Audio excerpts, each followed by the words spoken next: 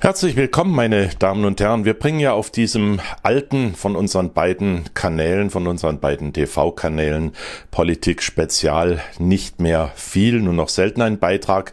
Wir sind umgezogen in den neuen. Den Link zu dem neuen Kanal, wenn Sie es noch nicht gemacht haben, den Umzug, den finden Sie im Rahmen mit der Textbeschreibung direkt unter diesem Video. Aber um hier einfach nochmal aufzutauchen und Sie erneut zu bitten und zu aufzufordern, dass Sie mit uns umziehen, möchte ich hier noch mal ein paar Gedanken vorbringen. Es soll mal ausnahmsweise nichts aktuell politisches oder wirtschaftliches sein, sondern ich habe einfach jetzt beim Umzug auch das Büro hier aus gebaut und umgebaut.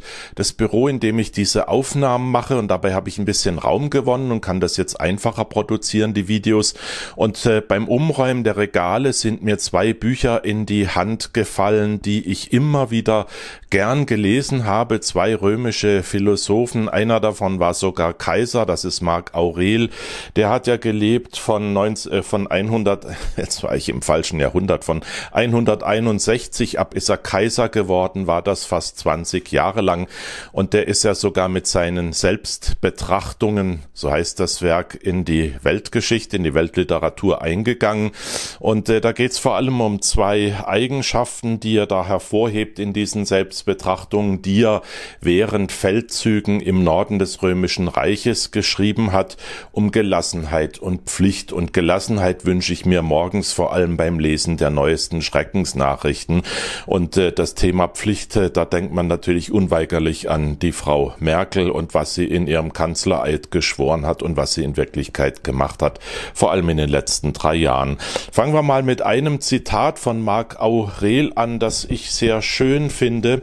Es ist so leicht, unwillkommene und unliebsame Gedanken zurückzuweisen und schon hat man seine Ruhe wieder. Da denken wir doch unweigerlich an das, was hier passiert mit Leuten, die dem Mainstream und seinen Darstellungen nicht folgen, die denken und reflektieren, die kritisch sind, zum Beispiel gegenüber der sozialen Spaltung in unserem Land, gegenüber der ideologischen Spaltung und äh, natürlich der Migration, die wir in den letzten drei Jahren sehen. Alles solche Themen. Es ist äh, immer schlimmer geworden, muss man sagen, wie der linke Mainstream mit seinen Kritikern umgeht.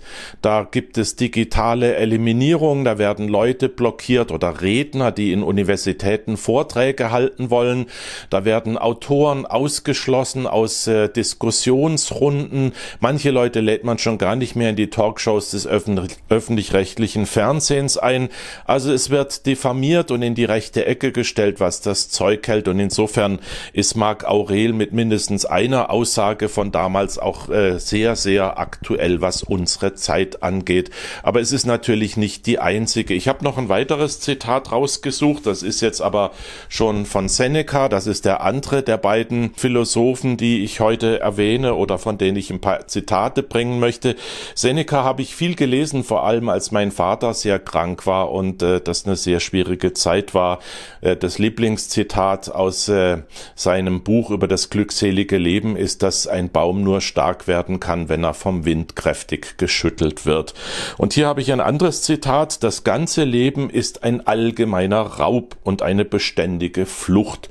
Das erinnert mich auch in unseren Tagen an zwei Dinge. Wenn ich das Wort Raub höre, dann muss ich natürlich wahrscheinlich wie Sie unweigerlich an Steuern und Abgaben denken. Die Deutschen sind in den europäischen Ranglisten beim Einkommen relativ weit vorne im vorderen Mittelfeld. Aber wenn man dann schaut, wie das mit dem Vermögen, mit den Ersparnissen aussieht, da ist es schon lange nicht mehr so gut. Und das sieht man dann, was uns doch am Ende von dem, was wir verdienen, abgenommen wird.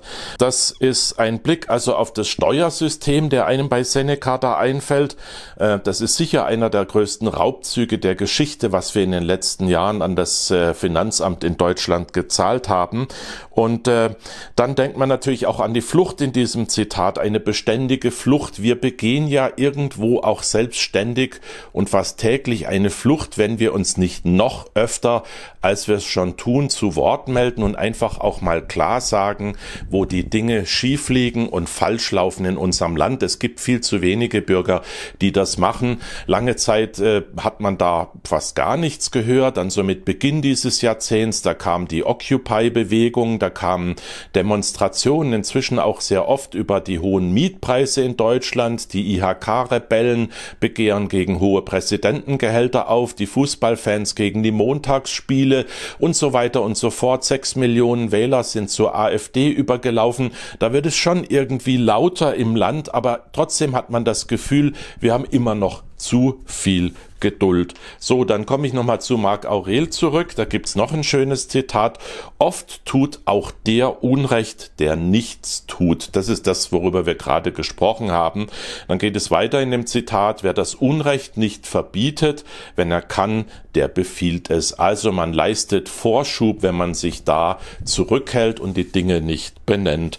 Und nochmal Seneca, ein sehr schönes Zitat. Wir haben nicht zu wenig Zeit, wir vergeuden zu viel. Da denkt man unweigerlich an die GroKo, die vor 18 Monaten, also erstmal nicht direkt, aber da gab es die Bundestagswahl und die GroKo ist dann sechs Monate später im März, ziemlich genau vor einem Jahr, jetzt fast auf den Tag, äh, zusammengekommen und entstanden durch den Koalitionsvertrag. Und was ist passiert? Nach der Bundestagswahl sind sechs Monate mit Regierungsbildung verschwendet worden.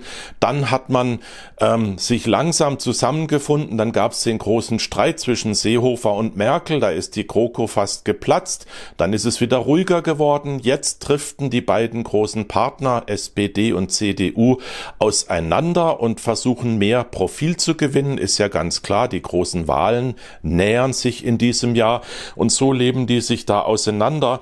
Und äh, die GroKo hat unglaublich viel Zeit vergeudet und jetzt, bevor sie endlich mal ans Arbeiten kommen könnte, da bereitet sie sich auf ihr Ende vor. Und das Vergeuden von Zeit, das fällt natürlich auch wieder auf uns als Bürger, als Beobachter, als Teilnehmende zurück, weil wir uns einfach mit dem Protest, der auf viele Fehlentwicklungen in diesem Land kommen müsste, einfach zu viel Zeit lassen und nicht so richtig aus dem Sofa kommen. So, und nochmal zum Abschluss. Ziehen Sie mit uns um, wenn Sie Interesse an den Beiträgen haben. Es sind nur zwei Klicks.